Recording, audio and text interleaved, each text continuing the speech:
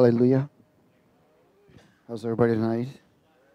Are you blessed and highly flavored? Praise God. This is the night the Lord has made, and we will rejoice and be glad in it.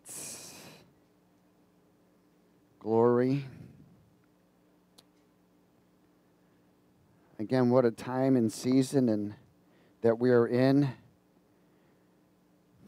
entering a new age and destroying the new age. Hallelujah. There's a new age movement that's being destroyed. Hallelujah. You know, one of the things the Lord was expressing me in the area of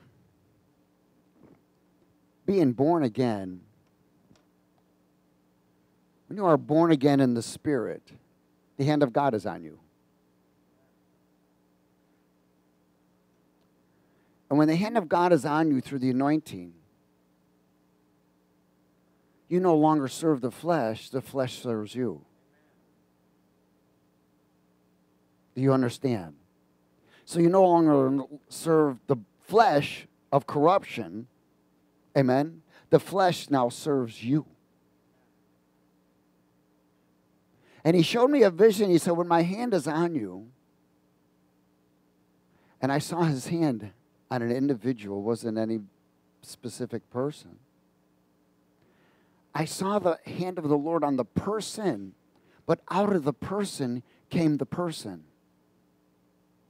He said, This is the one that's in the spirit, because I have my hand holding his flesh. I am anointed him. See, when the hand of God is truly on you and living in the Spirit, you're not a servant to the flesh or to the world. The flesh serves you. And there's a connection. He said, You can't be connected in the flesh, you can only be connected in this condition. Other than that, you're disconnected. See, when a person is disconnected, they're still in themselves. When they're connected, they're out of themselves. You are out of yourself. Somebody ran from themselves.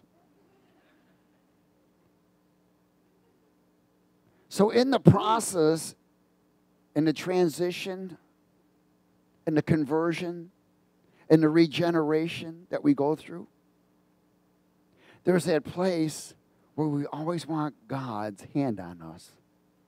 See, it's called the born again state of being. This is not an area where you're in the flesh anymore, you're in the spirit. And the world no longer is attached to you. In fact, you don't even belong here. You have to put up with things of the world. Amen. But you don't let the world overtake you or influence you. We're no longer lovers of the world, we're lovers of the kingdom and a king. So, in this, again, you're constantly walking away from yourself, and now you're in the spirit and you're connected, where all things are available. Nothing is withheld, everything's according to His will. Now, it doesn't mean you get every prayer answered. Amen? Sometimes answers of prayer is no. And we get frustrated with that. What do you mean, no? He knows better. Amen?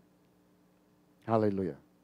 And in this area, it is so important to maintain that born again state of being. Because these are the warriors. These are the ones that can battle in the spirit. Because you can't battle in the spirit if you're in the flesh, it's impossible. And it is a time of war. And it is a time to battle like you've never battled before. Because we're in a transition. But you must be regenerated all the time, and you get regenerated in the spirit. That's why you worship, that's why you praise. Amen? Man, you know that there's a change when you cooperate with the worship. You don't worship something you don't know. Until you get to really know Him you may know all about him. You may have played religion for a long time. Well, I know Jesus. Do you worship him? Sure. I worship him every day. What do you do in worship? Well, I worship him because I tithe and I worship. And don't get me wrong, some of those are part of, but there's an area where you surrender yourself. You lay yourself on the altar. You walk away from self and you worship the Lord. Amen? Because now you're a sacrifice. You become a sweet smelling aroma. The Lord loves the cooking of flesh, especially your own. He knows your smell. Second Peter chapter 1.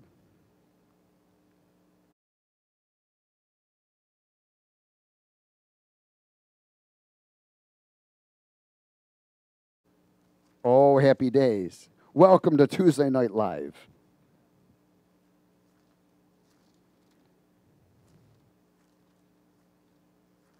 Glory. Second Peter chapter 1 and verse 2.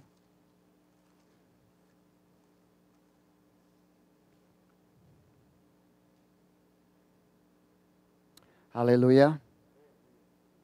Is everybody there? Second Peter chapter 1 verse 2 let's speak it together. Grace and peace be multiplied to you in the knowledge of god. That means not just reading knowledge that's knowledge of him. Do you have a knowledge of a friend or knowledge of a person? That's knowing him. Amen? And of jesus our lord and his divine power has given to us all things that pertain to life and godliness through the knowledge of him or knowing him who called us by the glory and virtue, by which have been given to us exceedingly great and precious promises, that through these you may be partakers of the divine nature, having escaped the corruption that is in the world through lust. Escaped. But also for this very reason, giving all diligence, add to your faith virtue, to virtue knowledge, to knowledge self control, to self control perseverance to perseverance, godliness, to godliness, brotherly kindness, and to brotherly kindness, love. For if these things are yours and abound, you will be neither barren nor unfruitful in the knowledge of our Lord Jesus Christ. For he who lacks these things is short sighted and even blindness. Hmm and has forgotten that he was cleansed from his old sins. Therefore, brethren, be even more diligent to make your call and election sure. For if you do these things, you will never stumble. For so an entrance will be supplied to you abundantly into the everlasting kingdom of our Lord and Savior, Jesus Christ. What did he say? That you may escape. That's the entrance. Now, there is a physical escape and a spiritual escape. A physical escape is called exodus. A spiritual escape is called rapture. Amen. In Genesis chapter 5. I want you to understand something that we are in Exodus 2. We are in Exodus what? 2. It's the second Exodus. Genesis 5.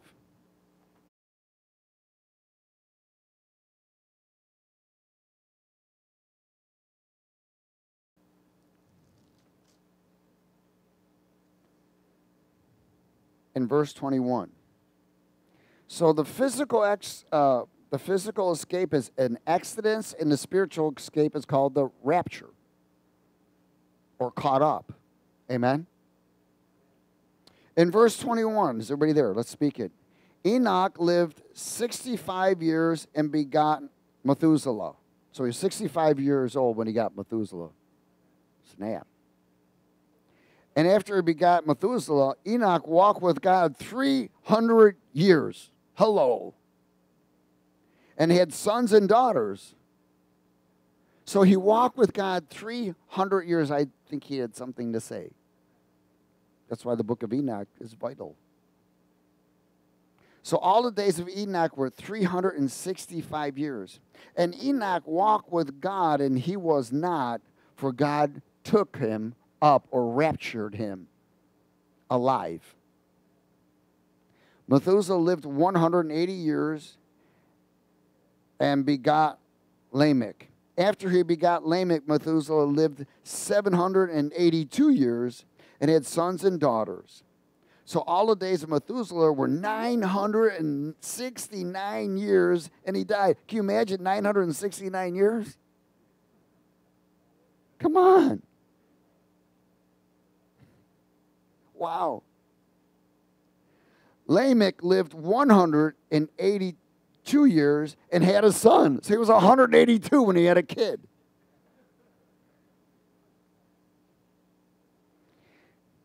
And he called his name Noah. This one, and, and, he, and he said, This one will comfort us concerning our work and the toil of our hands because of the ground which the Lord had cursed. After he begot Noah, Lamech lived 595 years and had sons and daughters. Whew. So all the days of Lamech were 777 years, and he died. And Noah was 500 years old, and he begot Shem, Ham, and Jeff. He was what? 500 years. The guy's 500 years old, and he had three kids. Wow. And they weren't about time then, you know what I'm saying? They're like, they weren't looking at dying or nothing, you know? Departure.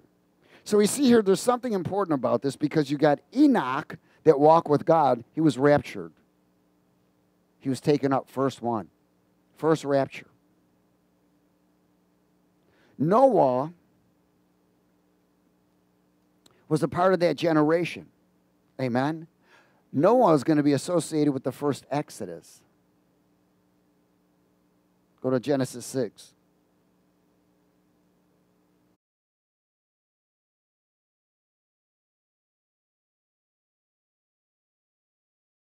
Generation genealogy with them. You got Enoch was the first one raptured. Noah will be the first Exodus. We got two escapes spiritual and physical. Amen. In verse 1 in chapter 6, now it came to pass when men began to multiply in the face of the earth that the daughters were born to them. And the sons of God, known as the angels, saw the daughters of men, and they and they were beautiful, and they took wives for themselves of all whom they chose. That means these angels had to put on flesh. Hello. And the Lord said, My spirit shall not strive with man forever, for he is indeed flesh, yet his days shall be 120 years. Boy, did things change, didn't they? There were giants on the earth in those days. And also afterward, when the sons of God came into the daughters of men, and they bore children to them. Well, the first giants came from Cain, the serpent's child who was Cain. Amen? And then they had offsprings and they became giants. And then 200 angels put on flesh, came into the world, put, took women, and produced offsprings. These were called Nephilims. And they, some of them became giants.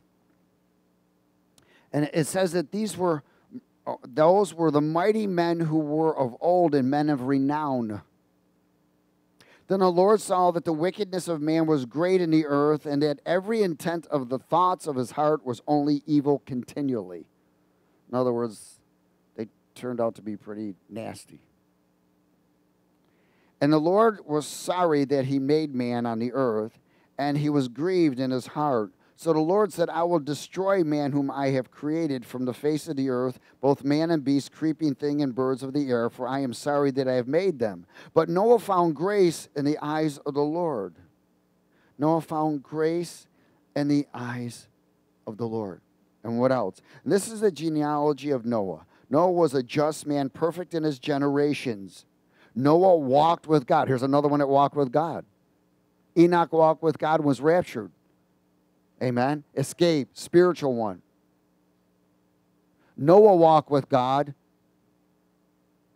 and he escaped. Why? What did God ask him to do? Build an ark. Amen. And Noah begot these three sons, Shem, Ham, and Japheth. And the earth was so was corrupt before God, and the earth was filled with violence. So God looked upon the earth, and indeed it was corrupt, for all the flesh had corrupted their way on the earth. And God said to Noah, The end of all flesh has come before me, for the earth is filled with violence, and through them. And behold, I will destroy them with the earth. Make yourself an ark of gopher wood, make rooms in the ark, and cover it inside and outside with pitch. Now, in this, we see that here God is preparing an exodus for Noah. Why? Because this is a physical escape. Amen? Does everybody understand this? So you got a spiritual escape and you got a physical escape. So we see that these are the two first escapes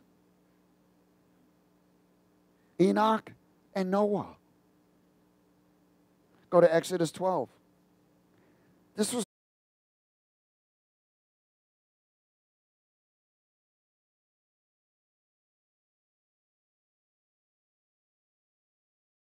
new age. Things were going to change after the flood, don't you think? God destroyed the earth, the flood, and all the powers of darkness that were inhabiting these offspring.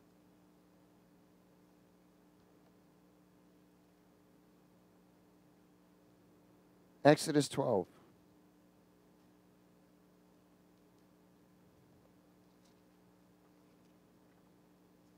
And things were made new. In verse 21,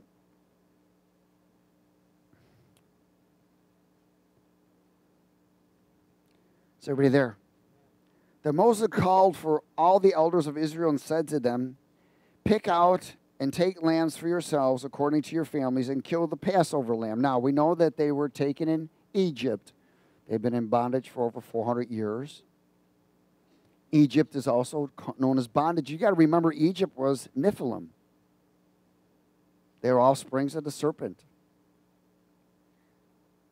And so they took the Israelites, God's people, and put them in captivity. Of course, God let them go in captivity because of rebellion. Amen. People don't go in captivity because you please God. People go in captivity because you disobey God. Hallelujah. Verse 2. Uh, I'm sorry, not verse 2. Verse, hallelujah. Verse 22. Now, didn't we just have a Passover? Amen. I don't know if you've noticed or not, but have you noticed the moons? So many nights it's been red, pinkish. It's been phenomenal. To me, it was more exciting than what they called the blood moon. Amen. To me, this was blood moon. That was phenomenal. He said, And you shall take a, a bunch of hyssop, dip it in the blood that is on the ba- in the basin, and strike the lintel and the two door doorposts with the blood that is in the basin. And none of you shall go out of the door of his house until morning. Now you got to remember, Moses had been coming to Pharaoh and saying, Let my people go. Why? To go out and worship and serve the Lord. It was time to let them go. Remember, the Lord visited Moses and said, Okay, I've heard the cries of my people, time's up. I'm going to cut them loose. I'm going to let them have an exit from bondage. So he said to him, Look at him, this is the 10th plague that's going to come was going to be the plague of death. And he said, Look, I want you to do something. I want you to put the blood over the lentils of the door, kill the lamb at twilight, and I will acknowledge the blood. I'll pass by every house that has the blood on it. But the ones that don't have the blood, I will enter in and I will kill the firstborn. How many know how important how applying the blood of Jesus on yourself, on your vehicle, on your home, when you travel, you speak the blood. Lord, I apply the blood of Jesus on this. Why? Because the Father acknowledges the blood. Amen. Verse 23 For the Lord will pass through to strike the Egyptians. And when he sees the blood on the lintel and on the doorpost, the Lord will pass over the door and not allow the destroyer to come into your house to strike you. Hello. Have you ever heard of all the testimonies about hurricanes and stuff like that? And people who have applied the blood of Jesus on their homes didn't get touched? Now, somebody can try to apply the blood of Jesus, but you're, if you still have sin, you have accursed items in your home, the blood will not be activated. Verse 24 And you shall observe this thing as an ordinance for you and your sons forever. It will come to pass when you come to the land which the Lord will give you, just as he promised, that you shall keep this service. And it shall be when your children say to you, What do you mean by this service? That you shall say, It is the Passover sacrifice of the Lord who passed over the houses of the children of Israel in Egypt when he struck the Egyptians and delivered our households. So the people bowed their head and worshiped. Then the children of Israel went away and did so, just as the Lord had commanded Moses and Aaron, so they did. And it came to pass at midnight that the Lord struck all the firstborn in the land of Egypt, from the firstborn of Pharaoh, who sat on his throne, to the firstborn of the captive who was in the dungeon, and to the firstborn of all livestock. So Pharaoh rose in the night, he and his servants and all the Egyptians, and there was a great cry in Egypt for there was not a house where there was not one dead. Then he called for Moses and Aaron by night, and he said, Rise, go out from among my people, both you and the children of Israel, and go serve the Lord your God who has called you. Also, take your flocks, hello, and your, her, your herds, and as you have said, be go and be gone and bless me also. And the Egyptians urged the people that they might send them out of the land in haste, for they said, We shall all be dead. So they were trying to get rid of the Israelites now. Because the Lord had struck, he showed his last plague. How many of don't know there's a plague globally right now? Why? It's, it's a preparation for an exodus. So the people took their dough before it was leavened, having their kneading bowls uh, bound up in their clothes on their shoulders. Now the children of Israel had done according to the word of Moses, and they had asked from the Egyptians articles of what? Silver, articles of gold, and clothing. So listen, they left in this exodus from physical exodus from bondage going into a new age they had the gold, they had the silver, they had the clothes. God, prosperous, provision. I'm telling you, that's what's getting ready to happen. But you got to be in position. Look at right now. There's a plague globally, right?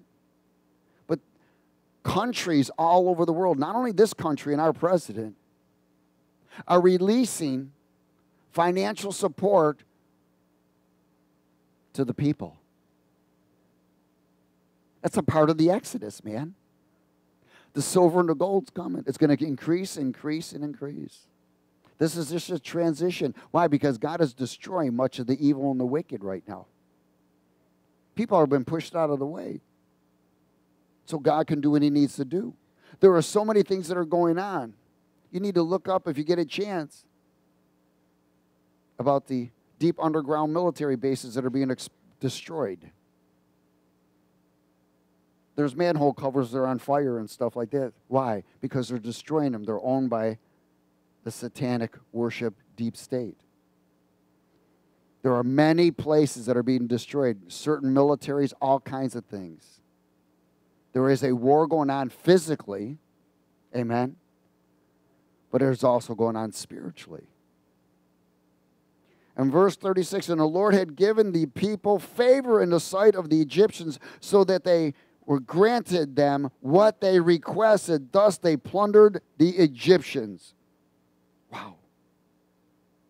Then he, the children of Israel journeyed from Ramses to Succoth, about 600,000 600, men on foot, besides children, and mixed multitude went up with them also, and the flocks and herds and great deal of livestock. And they baked unleavened cakes of dough, which they had brought out of Egypt, for it was not leavened, because they were driven out of the Egypt and could not wait, nor had they prepared provisions for themselves, but God was going to prepare. Now, there's something about yeast, because yeast interferes with the mind. So he wanted to make sure that they were clear. In fact, when people realize yeast is one of the major foundations that destroys the immune system. Everybody okay? So we see here that Exodus 2 has started. Amen? This was Exodus. Is everybody okay? Oh, hallelujah. Um, or, ex- yeah. Uh, this was also associated with the Passover. And Deuteronomy 29.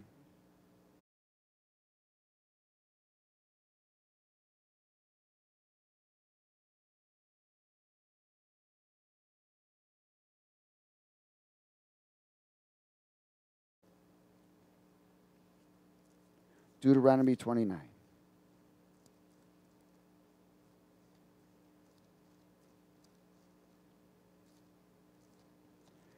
Exodus 2 is just for you. We will stay in Exodus 2 all the way to Exodus 3. There are three Exodus and three raptures. And it's all under one resurrection period time from Jesus on. And then there'll be a second resurrection, but we're not going to get into all that tonight. Deuteronomy 29. Is everybody there? Verse 1, let's speak it. These are the words of the covenant which the Lord commanded Moses to make with the children of Israel in the land of Moab, besides the covenant which he made with them in Horeb.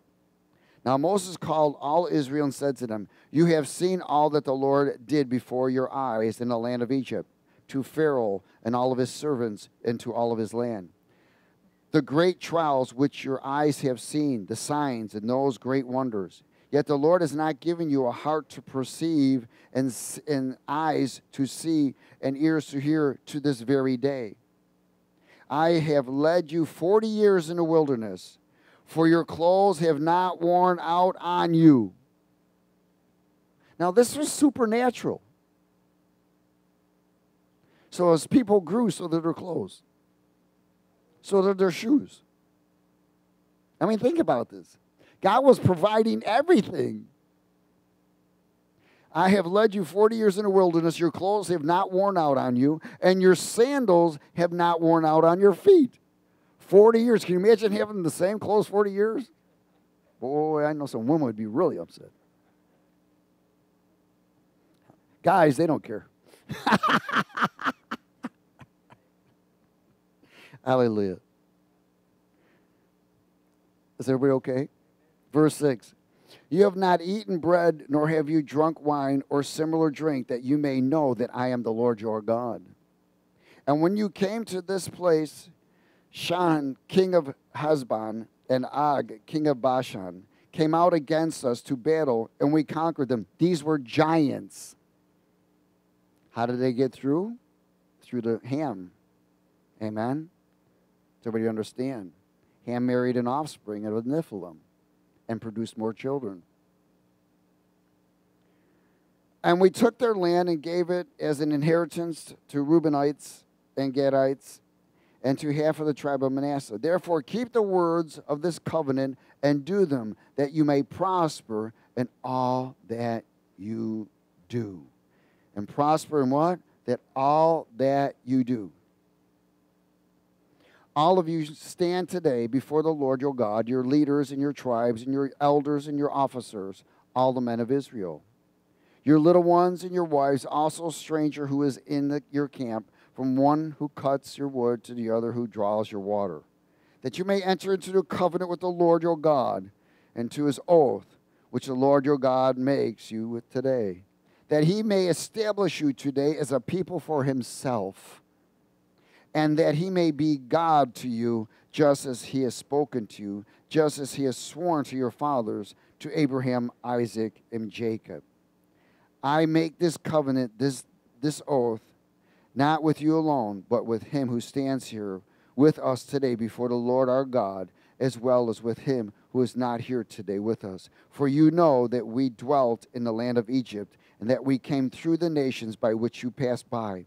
And you saw their abominations and your idols, which were among them wood and stone, and silver and gold, so that there were that there may not be among you man or woman or familiar or family or tribe whose heart turns away today from the Lord our God to go serve the gods of these nations, that they may not be among you a root bearing bitterness or wormwood. And so it may not happen when he hears the words of this curse that he blesses himself in his heart, saying, I shall have peace, even though I follow the dictates of my heart, and though the drunkard could be included with the sober. The Lord would not spare him for them. Then the anger of the Lord and his jealousy would burn against that man, and every curse that is written in this book would settle on him and, the, and, and would blot out his name from under heaven. I don't think anybody's name wants to get blotted out. Amen. So he's talking about this Exodus, which is what we're calling the second Exodus. And this second Exodus is continuing all the way to the third one. We're in it, it's being manifested right now.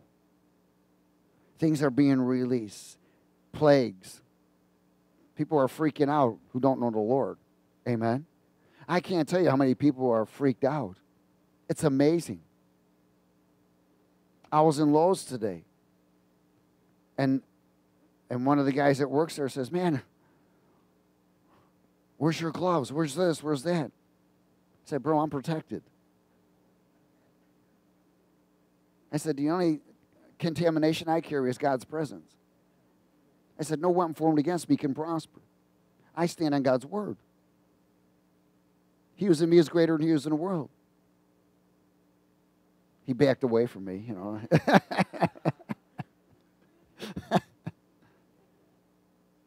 hey, if you're not going to believe God in this, how can you believe him in anything else? Hallelujah. Again, we are still in Exodus 2. Go to John 11.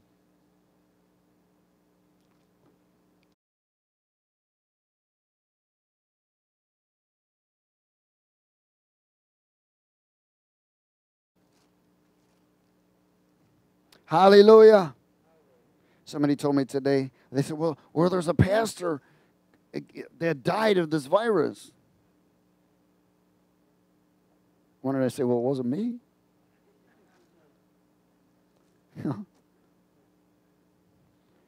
and people are calling death according to the virus when it's actually associated with something else. So you can't believe anything they tell you. You know, the fake news and nothing but Baal. John 11. Remember, the enemy just wants to bring fear. But God's not giving us a spirit of fear, but power, love, and a sound mind. John 11, verse 24.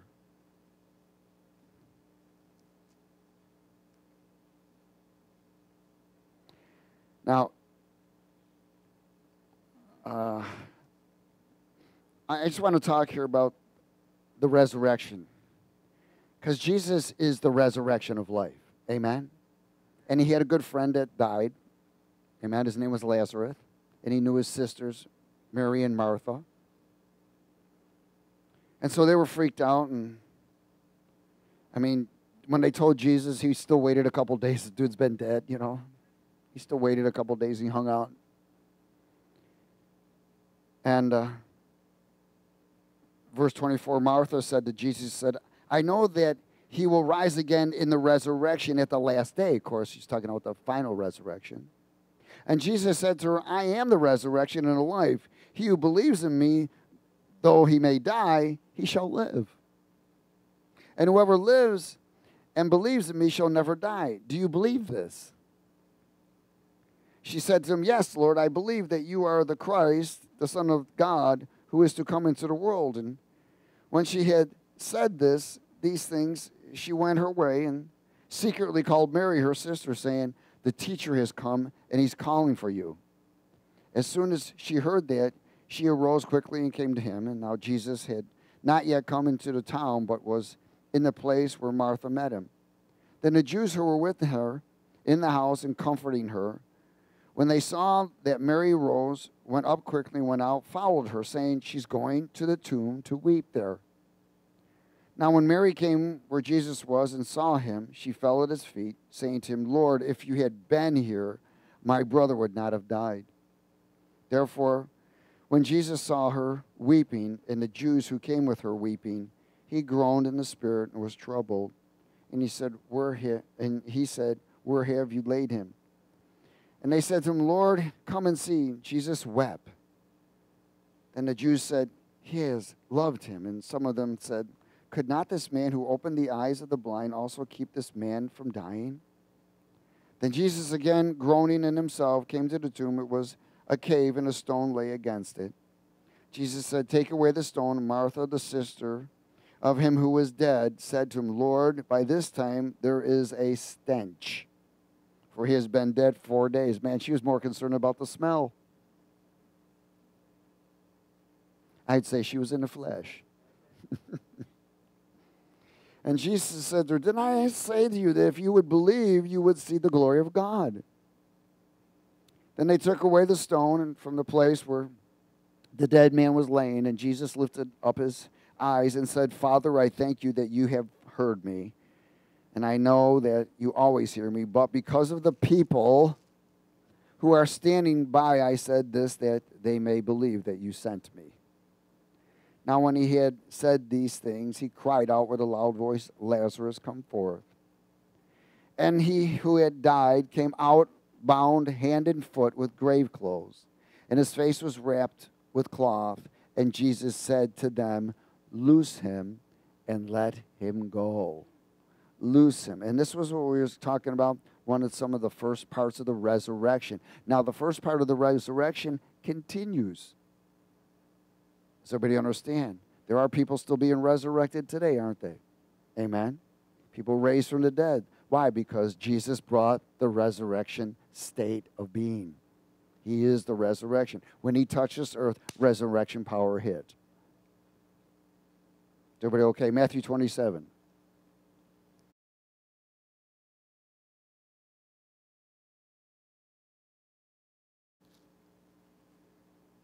This is a, what we call the first resurrection, but the first resurrection goes all the way to the second resurrection. There'll be two final resurrections. Matthew 27. Oh, happy days. So there are actually three resurrections, but we're going to talk about two of them.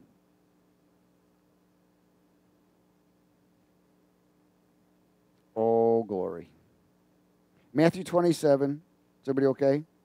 Verse 45.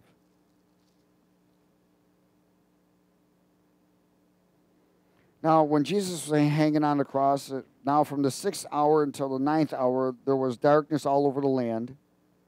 And about the ninth hour, Jesus cried out with a loud voice, saying, My God, my God, why have you forsaken me? Some of those who stood there, when they heard this, they said, This man is calling for Elijah. Immediately, one of them ran and took a sponge, filled it with sour wine, and put it on a reed and offered it to him to drink. The rest said, Let him alone. Let's see if Elijah will come to save him. And Jesus cried out again with a loud voice and yielded up his spirit. Then behold, the veil of the temple was torn in two from top to bottom, and the earth quaked, and the rocks were split, and the graves were opened. And many of the bodies of the saints who had fallen asleep were what? Resurrected. And what did they do? Coming out of the graves after his resurrection, they went into the holy city and appeared to many. That had to freak many people out, man. But I'll tell you, a lot of people got saved that day. A lot of people. and so when the centurion and those who were with him regarding Jesus, saw the earthquake and the things that had happened, they feared greatly, saying, Truly, this was the Son of God. Now remember, what this happened was the Passover, right? So the first Passover was the Exodus. Amen. The second Passover was a resurrection. Does everybody get it? Oh, snap. Ephesians 4.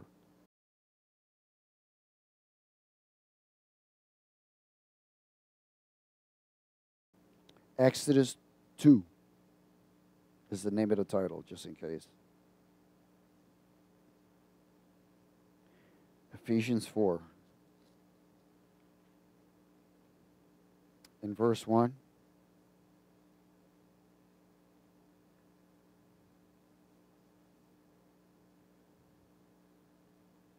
Are you expecting a lot of things to happen? You should be. You should be and, and expecting awesome things about to be released. No matter what the world says, we're not a part of it. If the hand of God is on you, you're walking in the Spirit, not in the flesh. In verse 1, I, therefore, the prisoner of the Lord, beseech you to walk worthy of the calling with which you were called, with all loneliness and gentleness, with long suffering, bearing with one another in love, endeavoring to keep the unity of the Spirit in the bond of peace. There is one body and one spirit, just as you were called in one hope of your calling. One Lord, one faith, one baptism, one God and Father of all, who is above all, through all, and in you all. But to each one is great grace was given according to the measure of Christ's gift. Therefore he says, when he ascended on high, he led captives the captive and gave gifts to men. Now this he ascended what does it mean? But he also first descended into the lower parts of the earth. Where did he go? Hades. Somebody get it? He went to Hades and he was continuing on the Exodus, setting people free from captivity, escape. Anyone willing to follow him? You want to come out of hell? Come on. Are you willing to follow me? Everybody get this? He gave them an opportunity to follow him. Some didn't leave. They were convinced that serving Satan was better. In verse 10, it says, He who descended is also the one who ascended far above all the heavens that he might fill all things. That he might what? Fill all things. Again, ascended, first had to descend before he could ascend, releasing those taken captive in Hades, and to those willing to follow him, there was another process of escape. Remember, we talked about escape. What kind of escape are there? There's a physical and there's a spiritual. One's exodus, one's rapture. It's all a part of the resurrection. Matthew 13.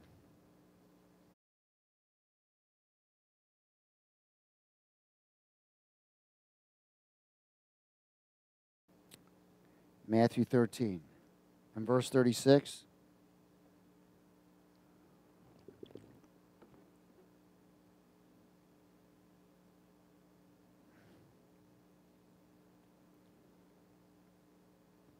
Then Jesus sent the multitude away, went into the house.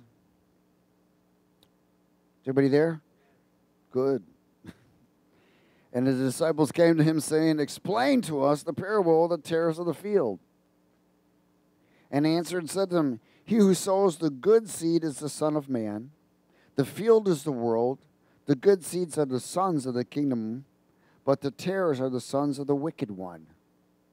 The enemy who sowed them is the devil, and the harvest is the end of the age, and the reapers are the angels. Therefore, as the tares are gathered and burned in the fire, so will be at the end of this age. The Son of Man will send out his angels and they will gather out of his kingdom all things that offend and those who practice lawlessness, and will cast them into the furnace of fire. There will be wailing and gnashing of teeth. Then the righteous will shine forth the sun in the kingdom of their Father. He who has ears to hear, let him hear. So the gathering is also associated with escape. Amen?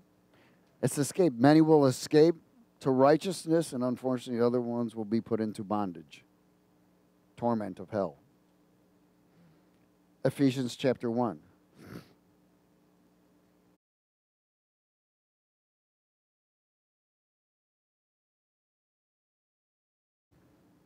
The gathering.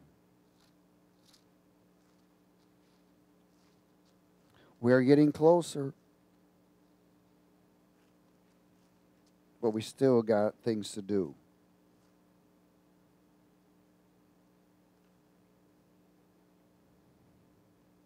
Hallelujah. Tomorrow will be my 27th year with the Lord. 27 years felt like yesterday. I was supposed to have been dead 27 years ago. Actually, I did die 27 years ago. Then I got born again. Hallelujah. Ephesians 1:15.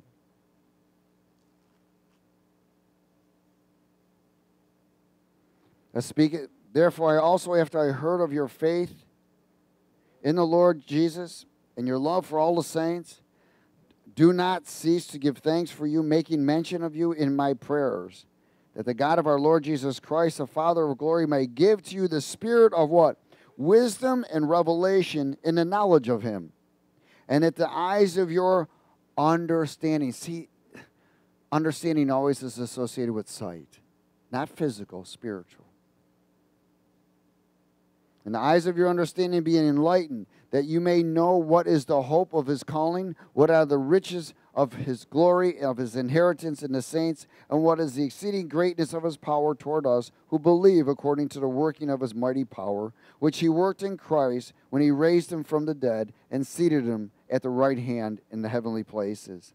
Far above all principality and power and might and dominion and every name that is named, not only in this age, but also in that which is to come and he put all things under his feet and gave him to be head over all things known as the church, which is his body, the fullness of him who fills all in all. Eyes of understanding.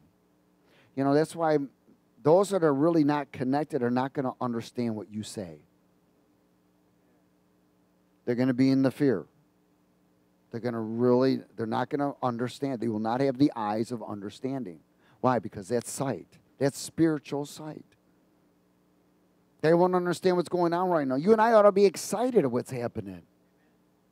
Amen? There should be an excitement, an expectation. Something is about to explode big time. And evil is going to be destroyed in many places. They will be held back for a period of time for the greatest harvest ever. Remember, we are the restrainers of evil. It's the body of Christ that restrains the powers of darkness. If you're in the spirit, if you're in the flesh, well, you you're restrained then. Amen? You're the restrainer or you're restrained. And you're restraining from a restrained. But, anyways, don't get restrained. Hallelujah. Joel 2.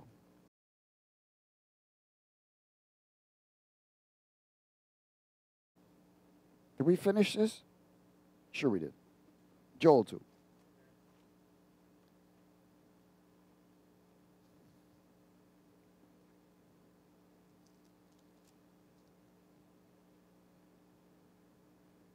Verse 28.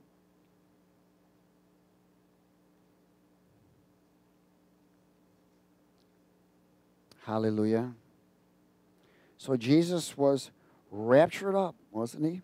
After 40 days walking with after he rose from the dead, amen, then he was taken before the disciples. In verse 28, is everybody there? Let's speak it.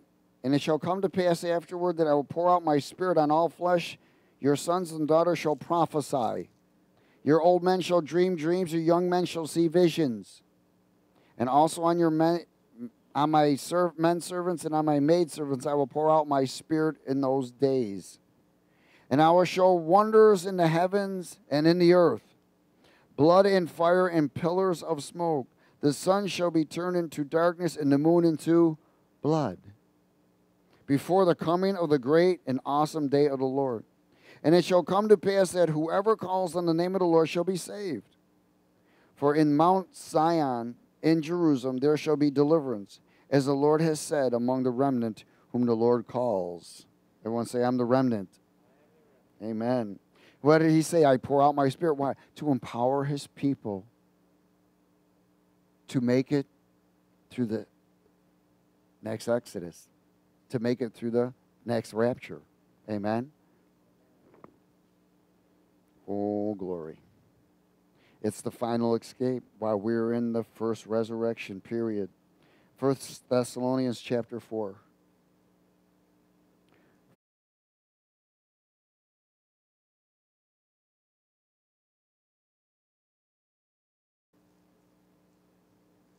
Glory.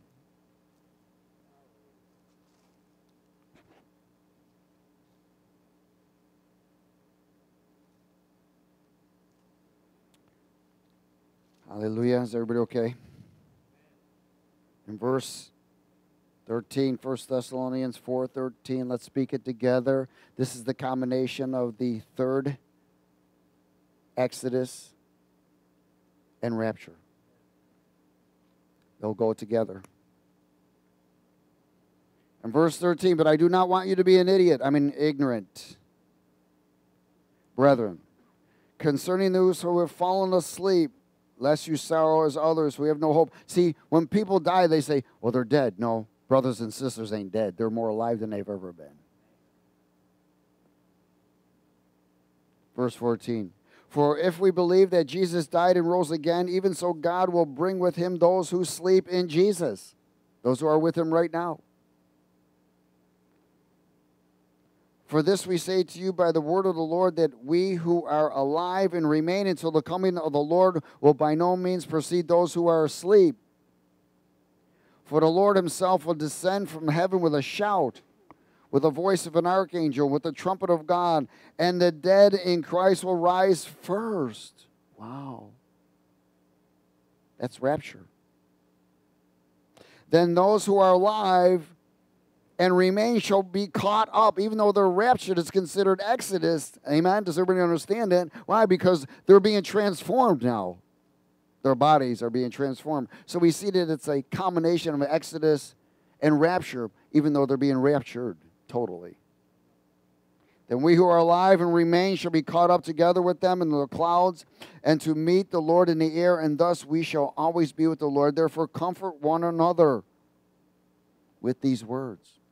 This will be the fulfillment of the Feast of Trumpets. This will be Exodus 3 and Rapture 3. Revelation 20, and we'll close here.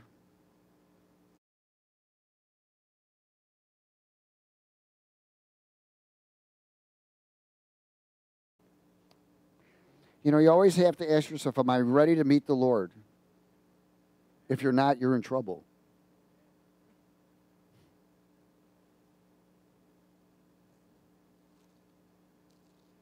That means you ain't right with God. Revelation 20, starting at verse 1.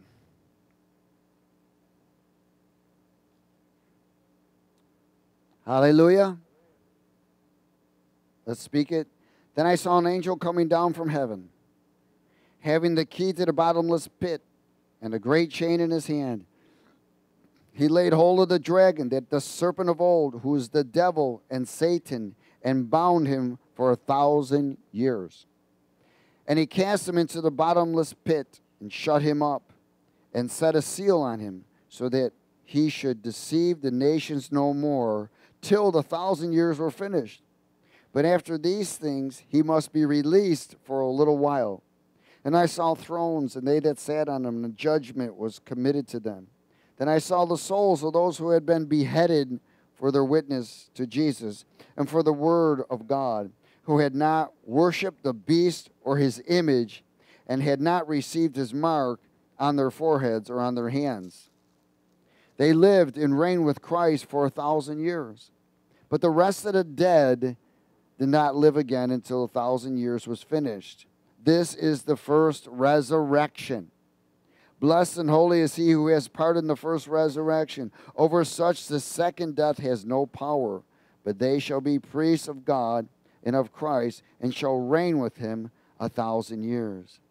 Now, when the thousand years have expired, Satan will be released from his prison, and he will go out to deceive the nations which are in the four corners of the earth, Gog and Magog, and to gather them together to battle, whose number is the sand of the sea. They went up on the breath of the earth. Where were they then? In the earth. And surrounded the camp of the saints and the beloved city. And fire came down from God out of heaven and devoured them. The devil who deceived them was cast into the lake of fire and brimstone, where the beasts and the false prophets are. And they will be tormented day and night forever and ever. Then I saw a great white throne and him who sat on it, from whose face the earth and the heaven fled away, and there was found no place for them. And I saw the dead, small and great, standing before God, and the books were open. And another book was open, which is the book of life. And the dead were judged according to their works by the things which were written in the books. The sea gave up the dead who were in it, and death and Hades delivered up the dead who were in them. And they were judged, each one according to his works. Then death and Hades were cast into the lake of fire. This is the second death. And anyone not found written in the book of life was cast in the lake of fire. So we want to make sure we're part of the first resurrection. Amen. Praise God. Again, we are in a time and season. I just believe that the Spirit wanted you to know where we are right now. To not only bring encouragement, but expectation. You may find cattle all over your apartment. Who's going to clean up that mess? but, anyways, in this whole thing that's happening right now, we want to be ready. We want to be alert. The Bible says, be ready in season and out. Be alert, be discerning, be sensitive, be able to see. Stay connected, stay refreshed. Amen. Stay worshiped, stay prayed up, stay filled up, and continue to walk away from yourself. Father, we thank you for your word. It's been imparted in each and every one tonight. And we ask, Lord, that the seed that's been there, that it be protected to grow and bear fruit and be brought up again as a reminder by the Holy Spirit so that we can see, so that we can hear, and so that we can follow what you're asking us to do in preparation for what is getting ready to be released so that we are not moved but stand firm on your word in Jesus' name. And everybody said, Amen. Praise God. Be blessed and stay dressed with the glory.